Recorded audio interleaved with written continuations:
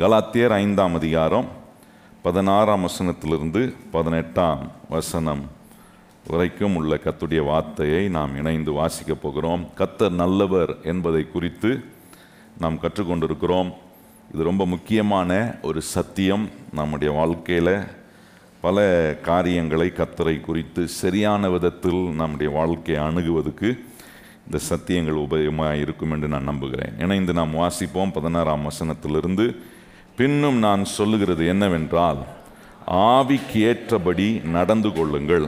அப்பொழுது மாம்ச இச்சையை நிறைவேற்றாது இருப்பீர்கள் மாம்சம் ஆவிக்கு விரோதமாகவும் ஆவி மாம்சத்துக்கு விரோதமாகவும் இச்சிக்கிறது.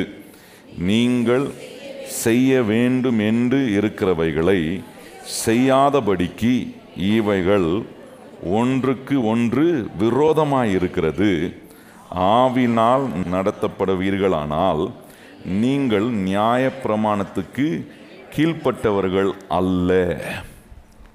ஆண்டவர் நமக்கு கற்றுக் கொடுக்குற இந்த சத்தியத்தில் நாம் கற்றுக்கொண்டிருக்கிற சில காரியங்கள் எப்படி ஆண்டவர் நல்லவராக இருக்கிறார் என்பதை காட்டுவதற்கு தேவன் அவருடைய விசுவாசத்தையே நமக்கு உண்டாக்கி நமக்கு பரிசுத்த ஆவியானவரை நமக்கு கொடுத்து தேவனுடைய விசுவாசமோ தேவனால் நமக்கு கொடுக்கப்பட்டிருக்கிற பரிசுத்தாவியானவருடைய உதவியோடு நம்முடைய வாழ்க்கையில் எழும்புகிற எல்லா வகையான மலை போன்ற பிரச்சனைகளை எப்படி நம்மால் பேர்க்க முடியும் என்பதை குறித்து ஆண்டவர் நமக்கு கற்றுக் கொடுக்குறார். நிறைய நேரம் பாருங்க வாழ்க்கையில் எழும்புகிற மலை போன்ற பிரச்சனைகளை இந்த மாம்சத்தை வச்சு மேற்கொள்ளான்னு நம்ம நினைக்கிறோம். ஆனால் அநேக நேரம் முடியாமல் போய் விடுகிறது நான் வாசித்து காண்பித்த வேத பகுதியும் அதை தான் சொல்லுது பாருங்கள் மாம்சமும் ஆவியும் ஒன்றுக்கு ஒன்று விரோதமாக இருக்கிறதா?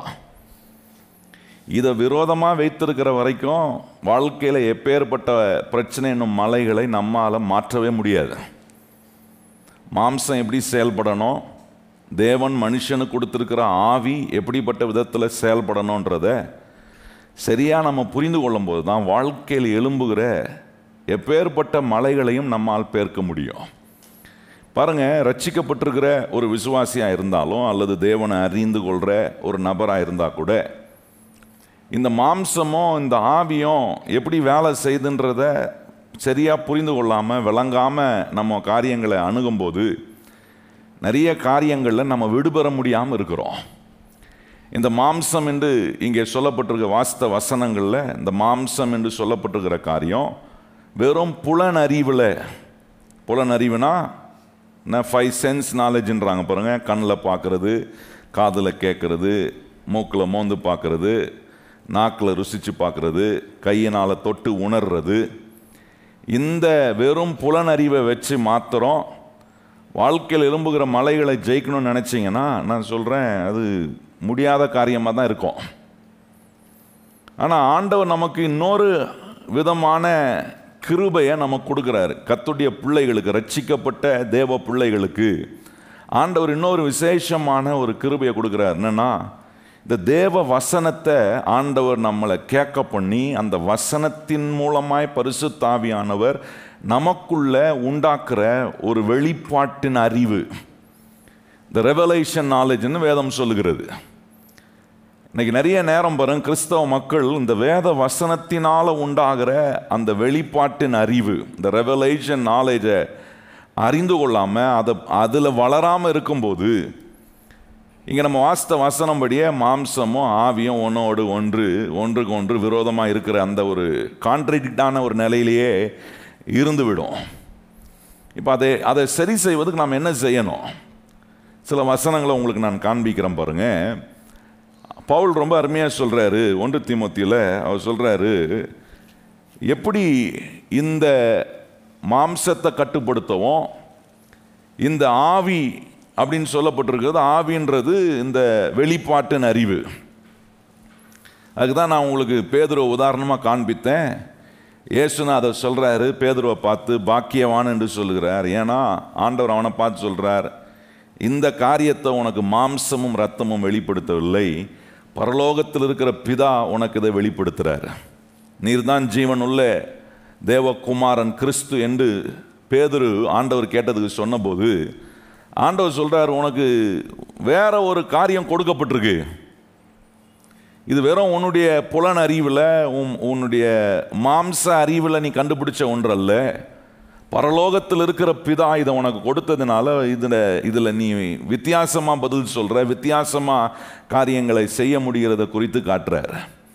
இங்கே பரிசுத்த பவுல் சொல்லும்போது ஒன்று தீமோத்தியில் கவனிச்சிங்கன்னா அங்கே ஆறாம் அதிகாரத்தில் பன்னிரெண்டாம் வசனத்தை சொல்கிறார் பாருங்க விசுவாசத்தின் நல்ல போராட்டத்தை போராடு நித்திய ஜீவனை பற்றிக்கொள் அதற்காகவே நீ அழைக்கப்பட்டாய் அநேக சாட்சிகளுக்கு முன்பாக நல்ல அறிக்கை பண்ணுகிறவனுமாய் இருக்கிறார். நல்ல கவனிங்க சொல்கிறாரு விசுவாசத்தினால போராட்டம் அப்படின்னா இதில் என்ன இருக்கு?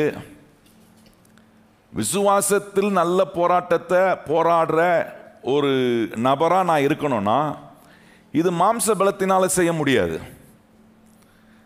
இந்த புலனறிவை வச்சு என் விசுவாசத்தை நான் வளர்த்துற முடியும் என் கண்ணில் பார்க்கறது காதில் கேட்குறது இதை வச்சே நான் விசுவாசத்தை வளர்த்துருவேன். தேவனை நான் இன்னும் அதிகமாக புரிந்து கொள்வேன்னா அது எந்த அளவுக்கு கரெக்டாக இருக்கும்னு நமக்கு தெரியாது.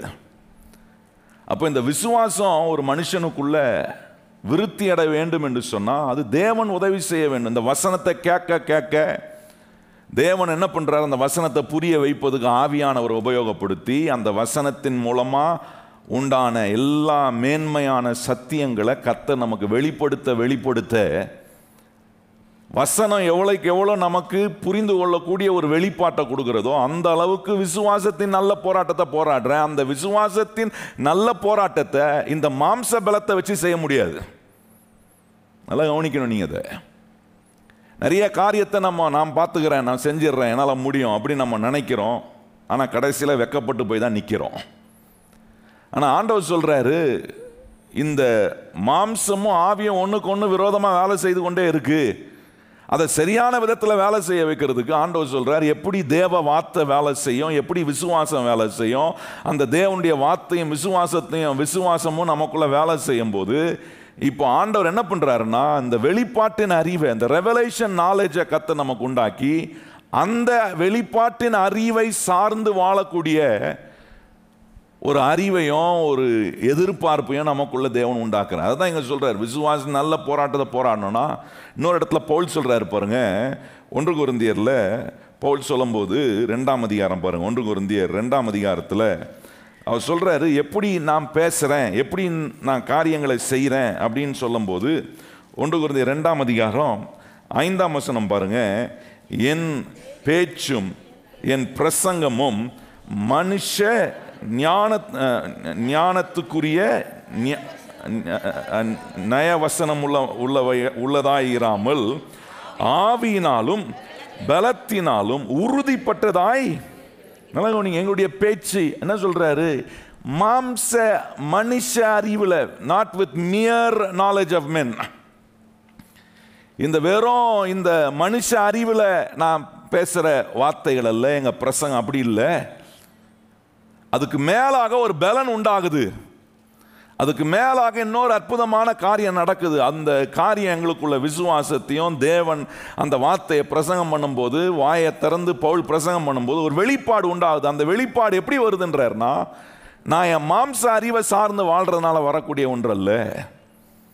நான் தேவன் மேல் வைத்திருக்கும் விசுவாசம் தேவனுடைய வார்த்தை எனக்குள்ள உண்டாக்குற விசுவாசம் இதெல்லாம் எனக்குள்ள வெறும் புலனறிவில் மாத்திரம் நான் சார்ந்து வாழ்கிறவனாக இல்லாமல் தேவன் உண்டாக்குகிற அந்த வசனத்தின் அறிவை வசனத்தினால் என்னுடைய ஆவிய கத்தர் பலம் உள்ளதாக்குறாரு வல்லமை உள்ளதா ஆக்குறாரு. அதை அதை வித்தியாசமான விதத்தில் என்னுடைய வாழ்க்கையின் வாழ்க்கையில் எழும்புகிற மலை போன்ற பிரச்சனைகளை அணுகுவதுக்கு ஆண்டவர் கொடுக்குற இந்த வசனத்தினால் உண்டாகிற இந்த வெளிப்பாட்டின் அறிவு பல காரியங்களை விசுவாசத்தோடும் தேவ அறிவோடு தேவ ஞானத்தோடு நாம் எதிர்கொள்வதற்கு ஆண்டவர் நம்மை பலப்படுத்துகிற ஒரு காரியமாக இருக்குது அதுதான் நீங்கள் கவனிச்சு பாருங்கள் இந்த தேவன் கொடுக்குற இந்த வெளிப்பாட்டின் அறிவில் நிறைய காரியங்கள் ஆவிக்குரிய விதத்தில் சொல்லப்பட்டிருக்கோம்.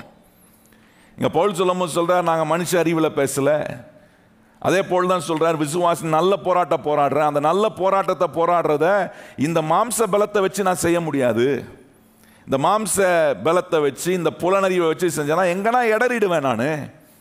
ஆனால் நான் இடராமல் நல்ல போராட்டத்தை கடைசி வரைக்கும் நான் போராடி ஆண்டவர் செய்ய வேண்டும் என்று நினைக்கிறதெல்லாம் நான் என் வாழ்க்கையில் செய்து முடிக்கணும்னா சொல்கிறார் இது இப்போ இந்த மாம்சத்தின் பலனை சார்ந்து இந்த மாம்சத்தின் அறிவை சார்ந்தல்ல அதுக்கு மேலாக இந்த தேவ வசனத்தினால் எனக்கு கிடைக்கிற தேவன் கொடுக்கும் அந்த வெளிப்பாட்டின் அறிவினால நான் விசுவாசத்தில் வளர்றேன்.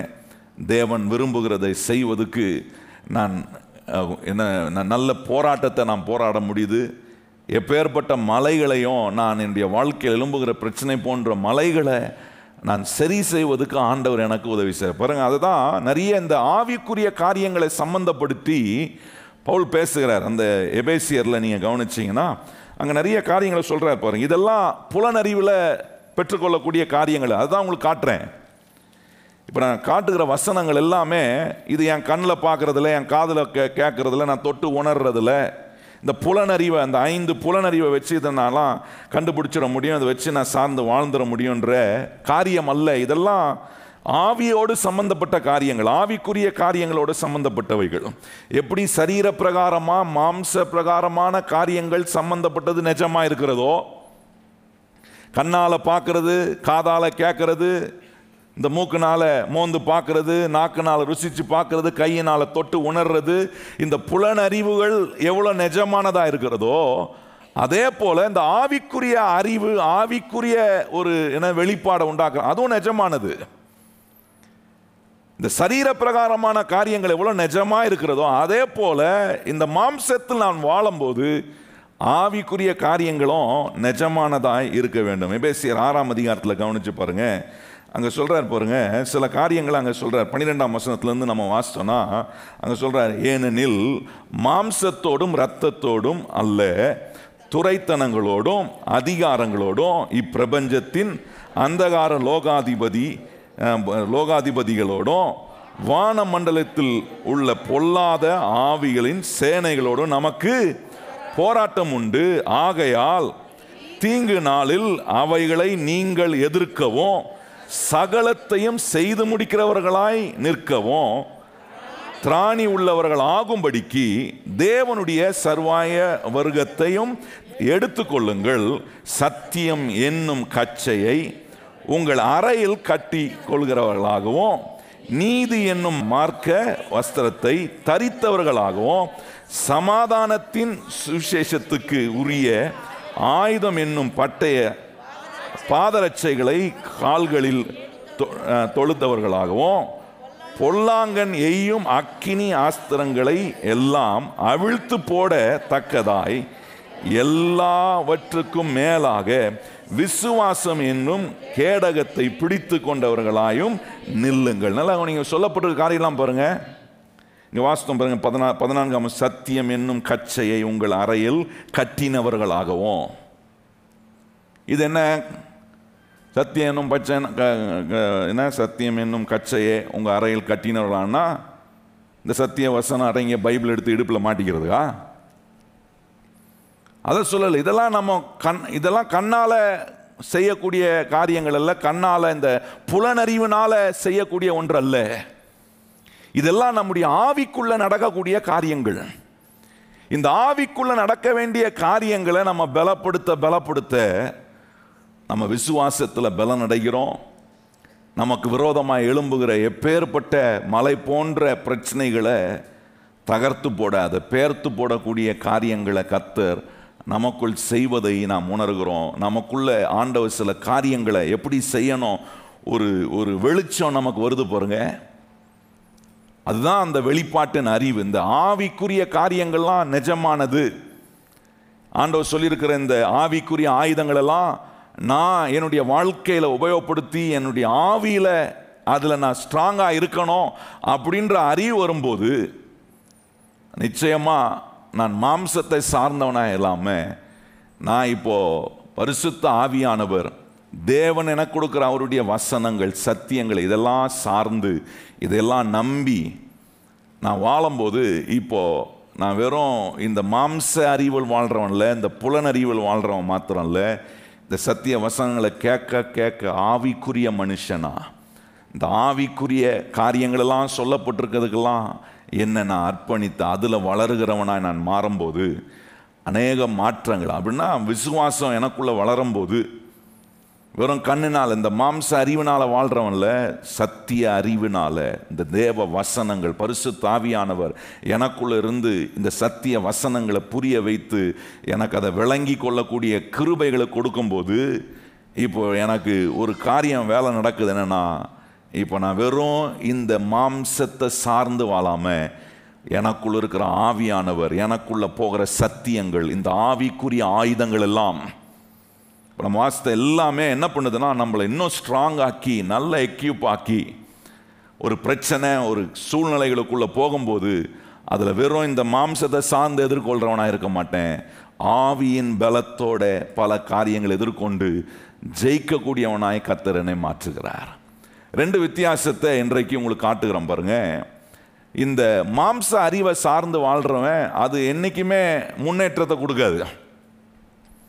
இந்த மாம்ச அறிவு இந்த புலனறிவை சார்ந்து நம்முடைய வாழ்க்கையில் எழும்புகிற மலைகளெல்லாம் நம்ம பேர்த்து போடலாம் நினச்சா நான் சொல்கிறேன் அது சக்ஸஸ்ஃபுல்லாக நம்ம வாழ்க்கையில் செய்ய முடியாது. மேலும் மேலும் பல பாதிப்புகளையும் பல விதமான நஷ்டங்களை தான் நம்முடைய வாழ்க்கையில் ஏற்படுத்தும். பாருங்கள் ஆண்டவர் அதுக்கு ஒப்பனையாய் ஒரு உதாரணமாய் இறைமையா பதினேழாம் அதிகாரத்தில் சொல்லப்பட்டிருக்கிற சில காரியங்களை ரெண்டு காரியங்களை ரெண்டு வித்தியாசத்தை காட்ட விரும்புகிறேன் இந்த ரெண்டு வித்தியாசம் என்னென்னா எப்படி இந்த மாம்ச அறிவை சார்ந்து வாழும்போது விசுவாசமோ பரிசுத்தாவியானவரும் ஆவிக்குரிய ஆயுதங்கள் ஆவிக்குரிய என்ன காரியங்கள்லாம் வேதம் சொல்லியிருக்கு பாருங்கள் அதை எதையுமே என் வாழ்க்கையில் நான் சார்ந்து வாழாமல் வெறும் என் மாம்ச பலத்தை சார்ந்து வாழும்போது ஏற்படக்கூடிய காரியங்களை இங்கே வேதம் சொல்லியிருக்கு பாருங்க. இறைமையா பதினேழாம் அதிகாரத்தில் ஐந்தாம் வருஷம் ரெண்டு வகையான காரியங்கள் ஒன்று மாம்சத்தை சார்ந்து வாழ்கிறது இன்னொன்று இந்த வெளிப்பாட்டின் அறிவை சார்ந்து வாழ்கிற ஒரு வாழ்க்கை. ஐந்தாம் வசனம் பாருங்கள்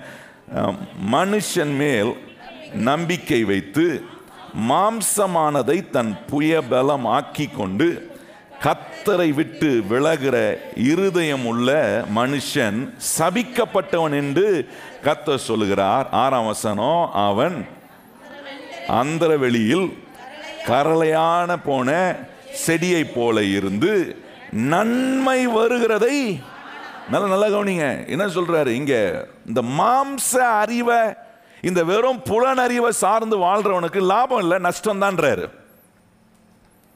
இயேசுவை அறிந்து கொள்ளாத வரைக்கும் நீங்கள் வந்து உங்கள் மாம்ச அறிவை சார்ந்து உங்கள் என்ன உங்களுடைய சுயத்தை சார்ந்து வாழ்ந்திருந்திருக்கலாம். ஆனால் என்னைக்கு இயேசு என்னுடைய ஆண்டவர் ஆயிட்டாரோ இப்போ என்னுடைய ஆவியோடு அவர் தொடர்பு வைக்கிறார் இந்த வசனத்தை கேட்கும் போதெல்லாம் எனக்குள்ள ஆவியானவர் நிறைய காரியங்களை புரிய வைக்கிறார் விளங்கி கொள்ள வைக்கிறார். இந்த சபையில் வந்து உட்கார்ந்து வசனத்தை கேட்கும் போது ஆண்டவர் இந்த வெளிப்பாட்டின் அறிவை உண்டாக்குறார். எனக்குள்ள ஒன்று புரியுது இல்லை இல்லை இது வரைக்கும் நம்ம வெறும் மாம்ச பலத்திலேயே போராடி இருக்கிறோம். அதனால தான் நிறைய மலைகள் பிரச்சனைகளை ஒன்றுமே நம்மளால் செய்ய முடியல. பிரச்சனைகள்லாம் நம்மளை மேற்கொள்ளுது. நம்ம பிரச்சனைக்குள்ள மூழ்கி கிடக்கிறோம்.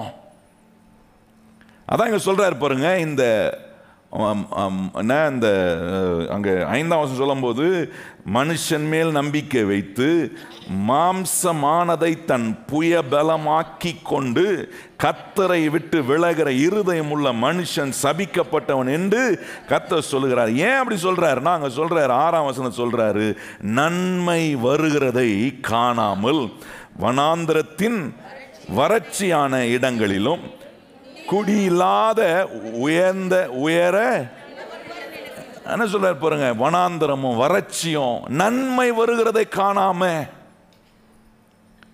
நிறைய நேரம் நன்மையை கத்தர் வச்சிருக்கிறாரு. இந்த வெறும் இந்த இந்த ஃப்ளஷ் நாலேஜில் இந்த புலனறிவில் மாத்திரம் பல காரியங்களை பார்க்கறதுனால நிறைய நன்மைகளை நாம் எழுதுவோம். நல்லா கவனிங்க இந்த புலனறிவை உபயோகப்படுத்தி உலகத்தில் இருக்கிற அறிவெல்லாம் வளர்த்துக்கிறது ஒன்றும் தப்பு கிடையாது. அதுக்கு வேதமும் அகேன்ஸ்ட் கிடையாது. இந்த வேதத்தில் இருக்கிற ஆவிக்குரிய காரியங்கள் எடுத்து போதிக்கிற நானும் அதுக்கு அகேன்ஸ்ட் கிடையாது. இந்த புலனறிவை வச்சு உலகத்தில் இருக்கிற அறிவெல்லாம் நீங்கள் சம்பாதிங்க. ஆனால் அந்த அறிவை வச்சு கத்துற காரியங்களை அணுக உங்களுக்கு எதிராக பிசாசு வேலை செய்கிறானே அதை உலகத்திலிருந்து உண்டாகிற புலனறிவை வச்சு மேற்கொள்ள நினச்சிங்கன்னா அதை தான் இங்கே சொல்கிறாரு அந்த மனுஷன் எப்படி இருப்பானா? நன்மை வர்றதை கூட தெரியாமல் வறட்சியான இடங்களில் இருக்கக்கூடிய ஒரு நஷ்டமான ஒரு வாழ்க்கை இருக்கிற ஒரு மனுஷனாக இருப்பான்றாரு. நல்ல கவனிங்கத்துடைய பிள்ளைகளை. அப்போ ரொம்ப முக்கியமானது கத்தர் எனக்கு மாம்சத்தை கொடுத்துருக்கிறார் இந்த மாம்சத்தை மீட்டிருக்கிறார் இந்த மாம்சத்தை ஆண்டவர் தம்முடைய ரட்சிப்பின் அனுபவத்தை அடையும்படி கொடுத்துருக்கிறார். இது வந்த உடனே நான் இப்போ கொஞ்சம் மாறி எப்படி ஆகணும்னா ஆண்டவரே என் மாம்சத்தை சார்ந்தல்ல. எனக்குள்ள ஆவியானவர் இருக்கிறீர். வசனத்தை கேட்குற இடத்துக்கு நான் ஒவ்வொரு முறையும் வரேன். இந்த சத்திய வசனங்கள் வாழ்க்கையை ஆண்டவரை வாழ்க்கையின் காரியங்களை எனக்கு புரிய வைக்குது. புரிய வச்ச பிறகும் நான் இன்னும் என் புலனறிவிலேயே நான் சார்ந்து வாழாம ஆண்டவரே இந்த வெளிப்பாட்டின் அறிவை பரிசுத்த ஆவியானவர் கொடுக்கிற இந்த வசனத்தின் அறிவில் நான் சார்ந்து வாழ்வதுக்கு நான் என்ன செய்யணும்னு உங்களை நீங்கள் ஆண்டவருக்கு விட்டு கொடுக்கும்போது ஆண்டவர் சொல்றாரு அந்த மனுஷன் எப்படி இருப்பான்றத அதுக்கு அடுத்த ரெண்டு வசனத்தை சொல்றாரு பாருங்க. அந்த மனுஷனை குறித்து தான் சொல்லியிருக்கு. முதல் அஞ்சு ஆறு யாரை குறித்து சொல்லியிருக்குன்னா வெறும் புலனறிவை சார்ந்து இந்த மாம்ச என்ன மாம்சத்தை புயபலமாக்கி கொள்ற ஒரு மனுஷனை குறித்து சொல்லியிருக்கு. இப்போ ஏழாம் வசனம் எட்டாம் வசனம் பாருங்க. கத்தர் மேல் நம்பிக்கை வைத்து. இப்போ என்ன வருது? தான் மாம்சத்தை புயபலமாக்காமல் மனுஷர்களை நம்பாமல் அப்படின்னா அங்கே மனுஷன் மேல் நம்பிக்கை வை வை- வைத்து மாம்சத்தை புய பலமாக்கி கொள்கிற ஒரு மனுஷனுக்கு ஆப்போசிட்டான ஒரு மனுஷன். இவன் யாருன்னா இப்போ ரட்சிக்கப்பட்டிருக்கிறான். ஆண்டவர் யாருன்னு தெரியுது. ஆண்டவர் எவ்வளோ முக்கியமானவர்ன்றது புரியுது. இந்த சபையில் வந்து உட்கார்ந்து வசனங்களை கேட்கும்போது இங்கே வசனத்தின் மூலமாக கத்தர் ஒரு வெளிப்பாட்டின் அறிவை உண்டு பண்ணுறாரு இப்போ உண்டாக்க உண்டாக்க புரியுது. இனி நான் என்ன நம்பி வாழக்கூடாது? நான் கத்தரை நம்பி வாழாங்க சொல்ல கத்தர் மேல் நம்பிக்கை வைத்து கத்தரை தன் நம்பிக்கையாய் கொண்டிருக்கிற மனுஷன் பாக்கியவான். அவன் தண்ணீர் அண்டையில் நடப்பட்டதும் கால்வாய் ஓரமாய் தன் வேர்களை விடுகிறதும் உஷ்ணம் வருகிறதை காணாமல் இலை பச்சையாய் இருக்கிற மரத்தை போல் இலை உஷ்ணம் வருகிறதை காணாமலும் இலை பச்சையாய் இருக்கிறதும் மலை தாழ்ச்சியான வருஷத்திலும் வருத்தமின்றி தப்பாமல் கனி கொடுக்கிற கனி கொடுக்கிறதுமான மரத்தை போல் இருப்பான். அங்கே சொல்றாரு பாருங்க இவன் எப்படி இருப்பான்? நன்மை வருகிறத காணாமல் இருக்க மாட்டான். வறட்சியான இடத்துல இருப்பான். அப்படி சொல்லலை. ஆறாம் வசனத்தை அப்படி சொல்லியிருக்கு. வறட்சி இருக்கும் நன்மை வருகிறத காண மாட்டான். ஆனால் இங்கே கத்தர் ஒரு மனுஷனை அந்த ஆவிக்குரிய விதத்தில் பலப்படுத்தும் போது இந்த மனுஷனுக்கு தெரியும் தண்ணி ரெண்டு நாட்டப்பட்ட மரம் உஷ்ணம் வரும் பிரச்சனை வரும் மழை போன்ற பிரச்சனைகள்லாம் வரும். ஆனாலும் கரெக்டான நேரத்தில் விடுதலையை கொடுப்பார். கரெக்டான நேரத்தில் பிரச்சனைகளை மாற்றுவார் கரெக்டான வழிகளை கத்தர் எனக்கு திறப்பார். இந்த மனுஷனை குறித்து சொல்லியிருக்கு. இந்த மனுஷன் யாராக இருக்கிறான்னா ஒரு அறிவு வருது அவனுக்கு. கத்தரை சார்ந்து வாழணுன்ற அறிவு வருது. அந்த அறிவு இந்த மாம்ச பலத்தினால் வருகிறதல்ல. நம்முடைய ஆவிக்குள்ள கத்தர் அப்படிப்பட்ட உணர்வுகளை நமக்குள்ளே ஏற்படுத்துகிறார். ஏன் உண்டாகுது? நான் இப்போ ரட்சிக்கப்பட்டிருக்கிறேன். ஆண்டவர் என்னுடைய தேவனாக இருக்கிறார். இப்போ அவர் என்னோட இடைப்படுறார். எங்கே இடைப்படுறார்? என்னுடைய ஆவியோடு அவர் இடைப்படுகிறார். இந்த மனுஷனுக்கு கொடுக்கப்பட்டிருக்க இந்த மனுஷனுடைய ஆவியை ஸ்ட்ராங் ஆக்குறதுக்கு வசனத்தை கேட்க வைக்கிற அந்த வசனம் விசுவாசத்தை உண்டாக்குது. வசனத்தை கேட்ட பிறகு பரிசுத்தாவியான உள்ள இருந்து அதுக்குண்டான வசனத்தின் வெளிச்சத்தை கொடுத்துக்கிட்டே இருக்கிறாரே. ஏன் இதெல்லாம் ஆண்டவர் செய்கிறாரு? காரணம் ஆண்டவர் என்ன பண்ண விரும்புகிறாருன்னா நன்மையை நான் காணணும். வறட்சிக்குள்ளே போய் மாட்டிக்கூடாது. பிரச்சனைக்குள்ளே இருக்கக்கூடாது. பிரச்சனையை தாண்டி ஆண்டவர் வைத்திருக்கிற மேலான நிலைக்கு நான் வரணும் என்பதை கத்தர் விரும்புகிறாரு இன்னொரு உதாரணம் பாருங்கள் புதிய ஏற்பாட்டில் இந்த காரியங்களை ஒப்பனையாக இந்த ரெண்டு காரியத்துக்கு ஒப்பனையாக சொல்லப்பட்டிருக்கிற இன்னொரு உதாரணத்தையும் உங்களுக்கு நான் காண்பிக்க விரும்புகிறேன் அங்கே ரெண்டு குருந்தியர் பத்தாம் அதிகாரம் ரெண்டு குருந்தியர் பத்தாம் அதிகாரத்தில் மூணாம் வசனத்தில் சொல்லியிருக்கு பாருங்க நாங்கள் மாம்சத்தில் நடக்கிறவர்களாய் இருந்தோம். மாம்சத்தின்படி போர் செய்கிறவர்கள் நம்ம இங்கே உலகத்தில் எதில் வா எப்படி இருக்கிறோம்? என்ன? இந்த உலகத்தில் வாழும்போது இந்த மாம்சத்தில் தான் வாழ்கிறோமா ஹலோ மாம்சத்தில் தானே இருக்கிறோம்? அப்படி ஒன்றும் மிதக்கிட்டு ஆவி மாதிரி சுற்றிட்டு இல்லையே. இல்லை? இந்த மாம்சத்தில் தான் இருக்கிறோம். அதான் சொல்கிறாரு இப்போ ஆவியை பலப்படுத்தணும்னு நீங்கள் நினச்சிக்கூட இந்த மாம்சம் ஒன்றும் இல்லை. ஒன்றுத்துக்கும் உபயம் இல்லாத மாம்சம் அப்படின்ற மாதிரி ஆக்கிக்கூடாது என்ன சொல்கிறாரு மாம்சத்தில் தான் வாழ்கிறேன் பவுல் ரொம்ப அருமையாக சொல்ல பாருங்க மாம்சத்தில் நடக்கிறவர்களாய் இருந்தோம் மாம்சத்தின்படி அங்கே தான் வித்தியாசம் இருக்கு. மாம்சத்தின்படி நான் போர் செய்யல வேற விதமா நான் போர் செய்கிறேன் நல்லா நீங்கள் விளங்கிக் கொள்ளணும். இறைமையால கவனிக்கிறோம் அங்க ரெண்டு விதமான மனுஷனை காட்டுற. ஒரு மனுஷன் மாம்சத்துல மாம்சத்தை உபயோகப்படுத்தி போராடுறான் அவனுக்கு நஷ்டம் வருது. இன்னொரு மனுஷன் இருக்கிறான் தான் மாம்சத்தின் பலனை நம்பாம கத்தர் மேல் தன் நம்பிக்கை வைக்கிற ஒரு மனுஷன். இங்க அதே தான் ஆண்டவர் காட்டுறாரு. நான் மாம்சத்தில் நாங்கள் மாம்சத்தில் நடக்கிறவர்களாக இருந்தோம். மாம்சத்தின்படி போர் செய்கிறவர்கள் அல்ல. நாலாம் வசனம் பாருங்கள். எங்களுடைய போர் ஆயுதங்கள் மாம்சத்துக்கு ஏற்றவைகளாயிராமல் அரண்களை நிர்மூலமாக்குகிறதுக்கு தேவ பலன் உள்ளவைகளாக இருக்கிறது அவைகளால் நாங்கள் தர்க்கங்களையும் தேவனை அறிகிற அறிவுக்கு விரோதமாய் எழும்புகிற எல்லா மேற்றுமையும் நிர்மூலமாக்கி எந்த எண்ணத்தையும் கிறிஸ்துவுக்கு கீழ்ப்படிய சிறைப்பிடிக்கிறவர்களாய் இருக்கிறோம். நல்லா என்ன சொல்றாரு பாருங்க? இப்போ இன்னொரு காரியத்தை இங்கே நம்ம பார்க்குறோம். சொல்கிறாரு மாம்சத்தில் வாழ்ந்தாலும் மாம்சத்தின்படி போர் செய்யலை. நாங்கள் இப்போ வேறு விதமாக போர் செய்கிறோம் எனக்கு புரியுது எங்கே இருக்குது போராட்டம்? சொல்கிறாரு போராட்டம் எங்கே இருக்குன்னா இந்த மாம்சத்தோட ரத்தத்தோட இல்லை.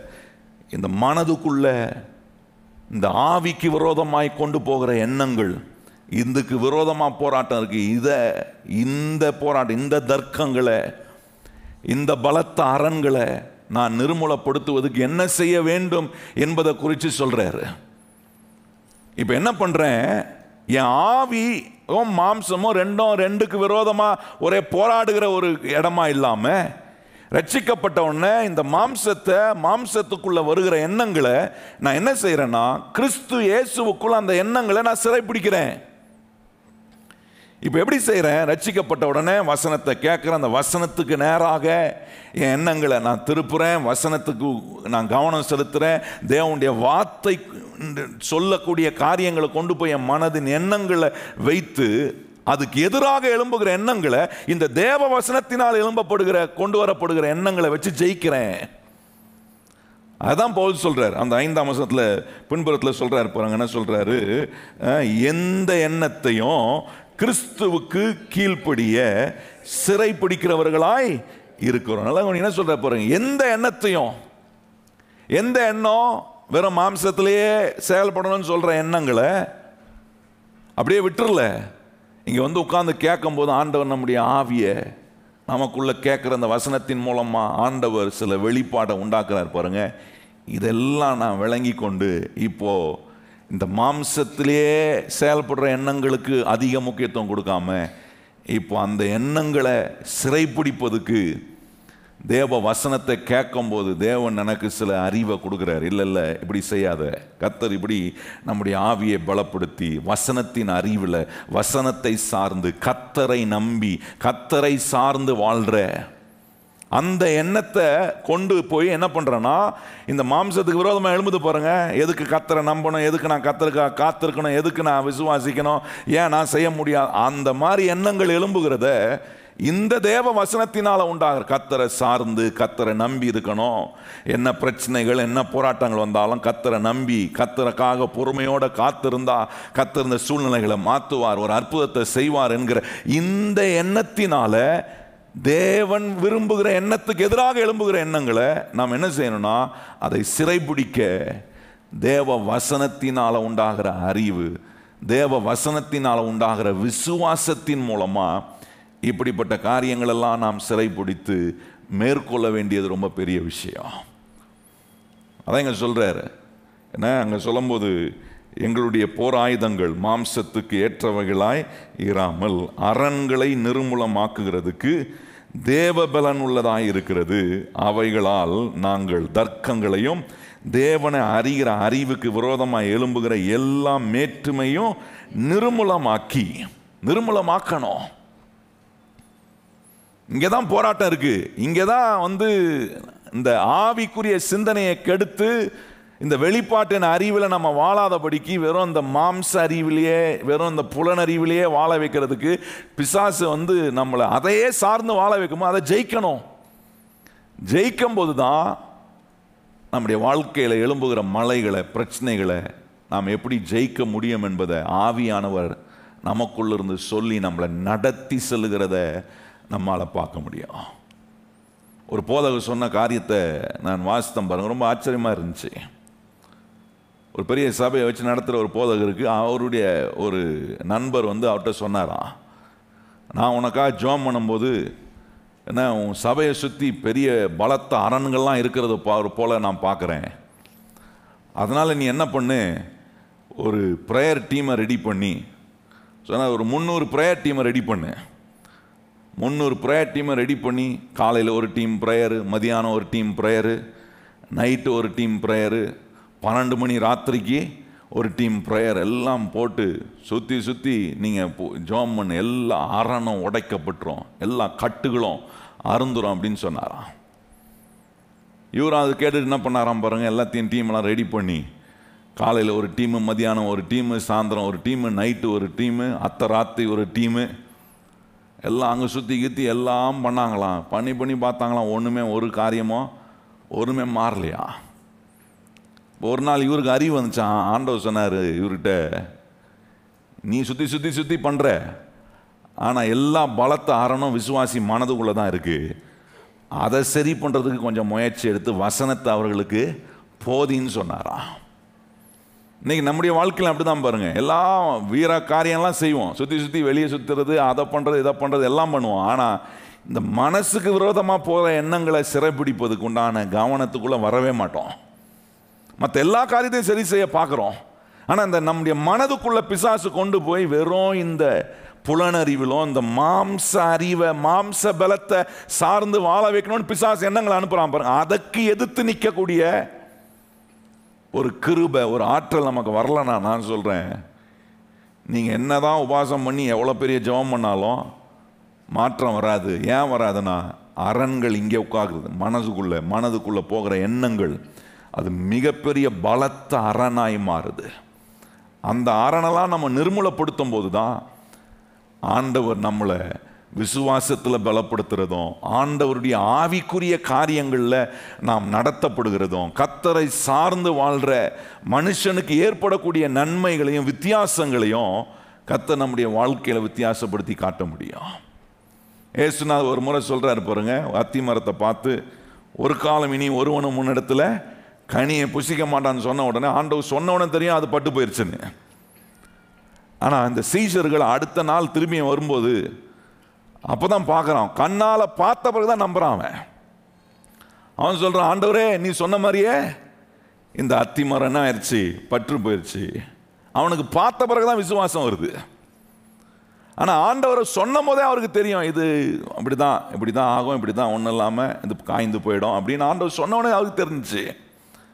இன்னைக்கு ஆண்டவர் என்ன விரும்புகிறாரு பார்த்து விசுவாசிக்கிறத காட்டிலும் இந்த வசனத்தினால் உண்டாகிற அறிவினால் விசுவாசம் வருது பாருங்க. அது உங்களை இந்த ஆவிக்குரிய அறிவிலும் வெளிப்பாட்டின் அறிவிலும் ஆண்டவர் உங்களை அதிக அதிகமாய் பலப்படுத்தி நடத்துவதற்கு அது ஏதுவாக இருக்கும். அது ரொம்ப ரொம்ப முக்கியம். ஏன்னா இந்த மாம்ச அறிவையும் மாம்ச பலனையும் நீங்கள் சார்ந்தே வாழ்வீங்கன்னா எங்கேயாவது ஒரு இடத்துல கண்டிப்பாக தோல்வி வரும்போது நம்ம விழுந்து போய்விடுவோம்.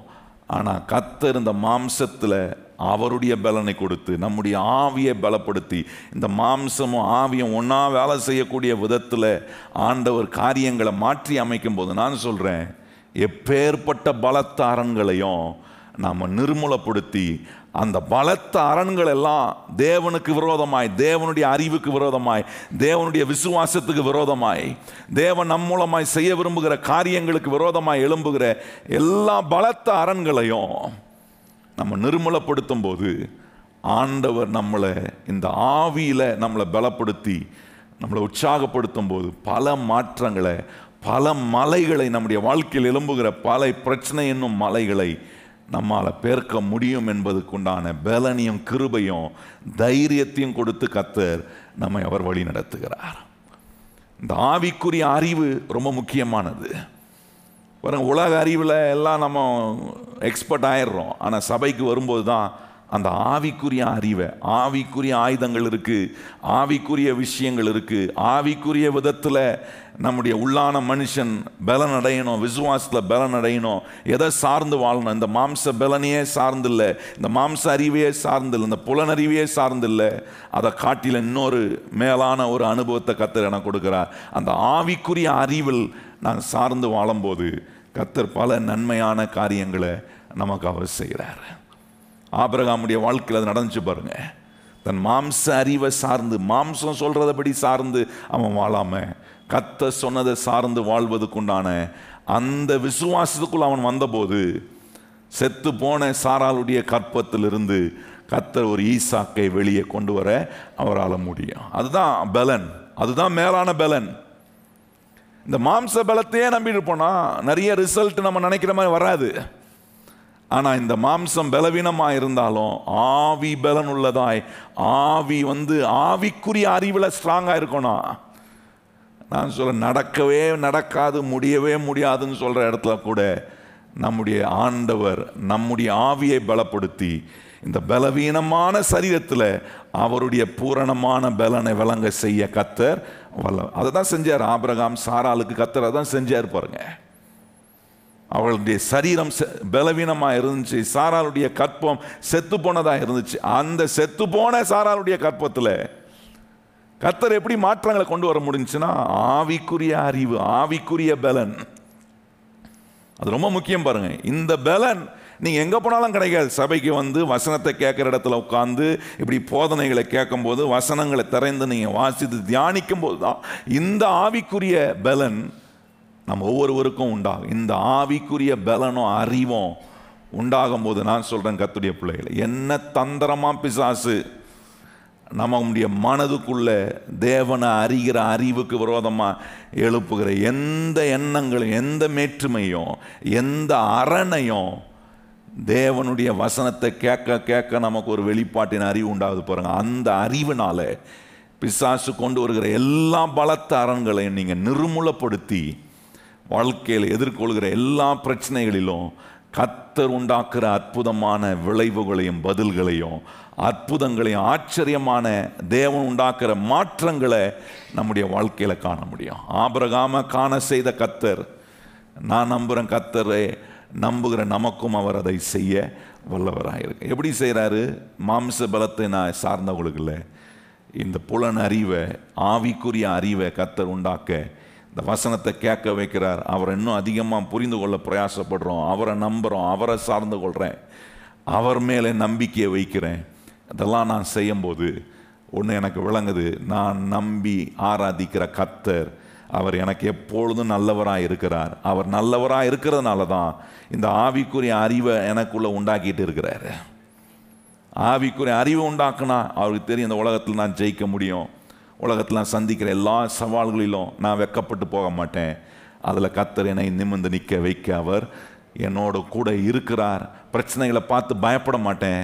மலை போன்று இருக்கிற பிரச்சனைகளை பார்த்து என்ன செய்ய போகிறேன் ஏதாக போகுது அப்படிப்பட்ட பயம் வர தெளிவு கிடைக்கும். கத்தர் இந்த பிரச்சனையிலும் நான் தப்பித்து செல்லும்படி எனக்கு ஒரு போக்கை உண்டாக்குகிற அற்புதமான கத்தர் எனக்குள்ள இருந்த இந்த வசனத்தின் மூலமாக அப்படிப்பட்ட வெளிச்சத்தை நம்ம கொடுப்பாரு.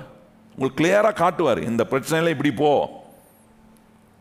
ஆனால் நீங்கள் மாம்ச பலத்தை நம்பினீங்கன்னா பிரச்சனையில் எங்கே போகுதுன்னு தெரியலையே அப்படி தான் இருப்பீங்க. இந்த மாம்ச அறிவும் இந்த மாம்ச பலனை சார்ந்து என்ன பண்ண போகிறேன் இது பண்ண அப்படி தான் சொல்லணும். ஆனால் கத்துடைய வசனத்தை கேட்கும்போது இந்த ஆவிக்குரிய அறிவு உண்டாகும்போது இந்த வெளிப்பாட்டின் அறிவை கத்தர் இந்த வசனத்தின் மூலமாக விசுவாசத்தின் மூலமாக கத்தர் உங்களுக்குள்ளே உண்டாக்கும் போது பிரச்சனைக்குள்ளே இருக்கும்போது கத்தர் நம்ம காட்டுவார். இந்த பொ- இந்த காரியத்தில் இதை இப்படி செய். கொஞ்சம் பொறுமையாக இரு. கத்த தெளிவாய் நம்மளை நடத்துவார். ஏன்னா தேவன் நம்மளை எல்லா பிரச்சனையிலிருந்து விடுவிக்க அவர் வல்லவராய் இருக்கிறார். நம்ம கூட இருந்து நம்மளை ஆண்டவர் விடுவிப்பது தான் அவருக்கு பிரியமான காரியம்.